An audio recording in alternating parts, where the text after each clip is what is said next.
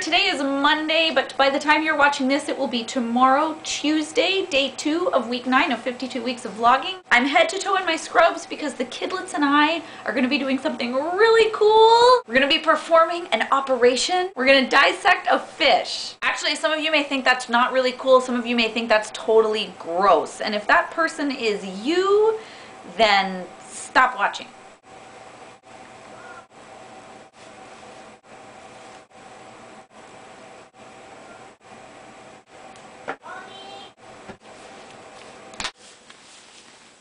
The fish that we're going to cut open is, if you can read that, it's called whiting. The Italian name is merluzzo. Is apparently a really healthy fish. Open that up.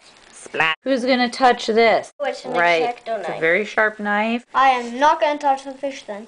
Don't, well, you're going to touch the fish eventually, but you're not going to touch the knife. Let's start with the exteriors. We've got the dorsal fin here. This is a pectoral fin. It's got two sets of pectoral fins. Ah, my nose is is itchy. really interesting. What's this? Gills. Gill. Gills. Inside the gills. See that? The way fish breathe is by taking in water through their mouths. And it goes in their mouths, into the back, In their And- mouth. and it goes through the back and passes over the gills and out.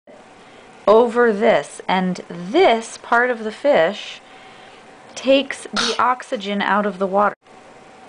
It's like a solid structure almost. It's almost like it's got teeth. No. Fish are covered in scales. Fish. Boy, can I smell these fish. They are stinky, aren't they? Fish actually have skin beneath their scales.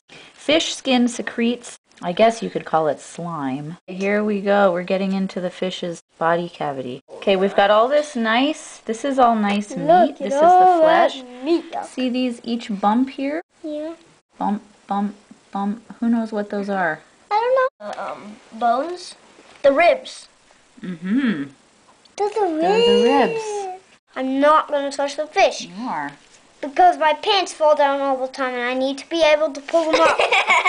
That's so hilarious. That is totally going on the video. If we cut around, I'm cutting the muscle away from the bone. Each of you get a fork. Poke right here, Okay. gently. Feel how hard it is? Hard, yeah. That is the backbone of the fish. It's actually not one bone. We say backbone, but it's actually many, many bones. We Two can get a good look at its rib cage and its backbone right there. Connected to the anal pore is this organ. This is a male fish, and these are his balls. Balls. No, they're not his balls. They're his ovals.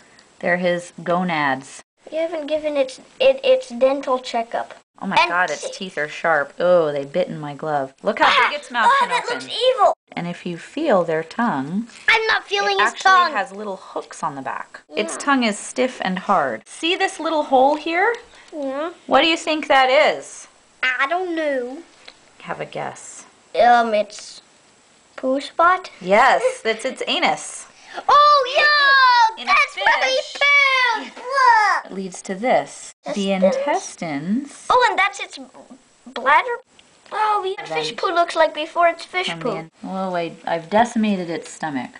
what does decimated mean? there is all kinds of goop in the stomach, and it's filled with like slime, which is actually it, it's a lot like mucus, and it's not unlike what would be inside your stomach. This big piece here, that's the liver. It's surprisingly huge. It's quite thin, but it's very soft. This is actually the air bladder. In the cavity between the spine and the ribs, that is just empty of everything. That's the inside of its rib cage.